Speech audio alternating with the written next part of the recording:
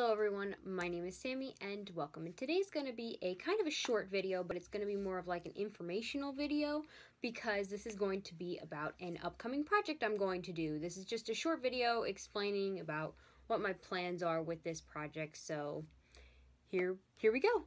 So I am planning on making my Pokemon Go avatar cosplay for upcoming ZenkaiCon. I know that's pretty far away, but hey, it's always good to plan ahead and to be, you know, ahead of schedule. So I'm planning on making my avatar, which you probably have already seen the thumbnail where you've seen the picture of it, or that is what I'm um, going to be trying to recreate.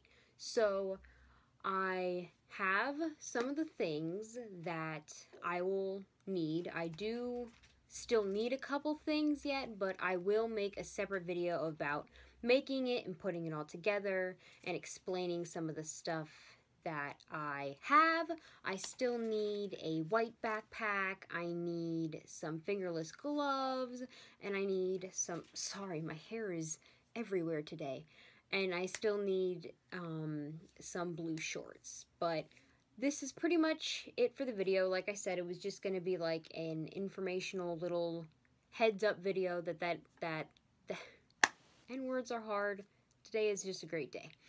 So that is pretty much it for this video. Thank you so much for watching. Please make sure to like and subscribe, and I will see you all next time, and stay tuned for the cosplay. Bye!